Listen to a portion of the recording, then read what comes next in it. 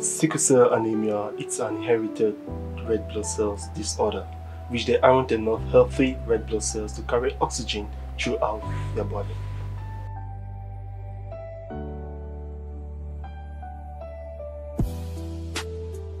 Symptoms of sickle cell anemia include frequent fever, unexplained episodes of severe pain, swollen hands and feet, abdominal swelling especially in areas tender to touch, pale skin or nails bed, yellow tint to the body, and white of the eyes.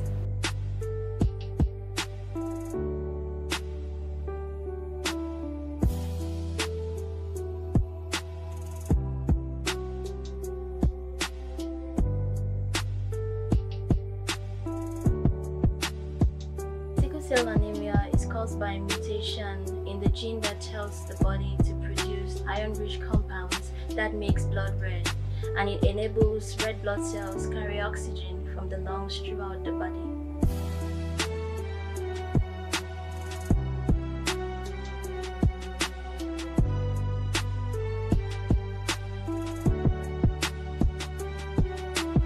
In sickle cell anemia, the abnormal hemoglobin causes the red blood cells to be rigid, sticky, and mishappen.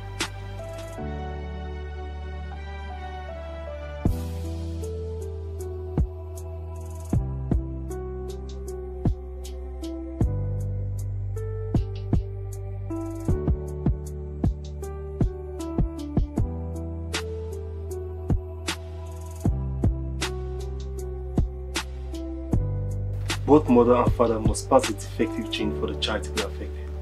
If only one parent passes the sickle cell gene to the child, that child would have the sickle cell trait, with one normal hemoglobin gene and one defective form of the gene. People with sickle cell can produce both normal hemoglobin and sickle cell hemoglobin. Their blood might contain some sickle cells, but they generally don't have the disease.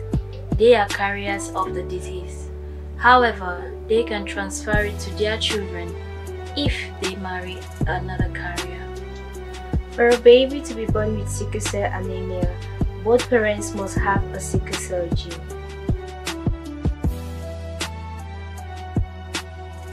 Sickle cell anemia leads to a host of complications which includes stroke, blindness, leg ulcers, gallstones, priapism, pulmonary hypertension, acute chest syndrome, and pregnancy complications.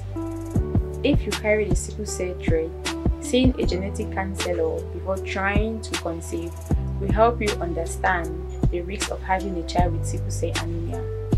They can explain possible treatment, preventive measures, and reproductive options. We at Sirr Kuda's Pictures, with other health organizations, say compatibility test is necessary before marriage or procreating. Know your status.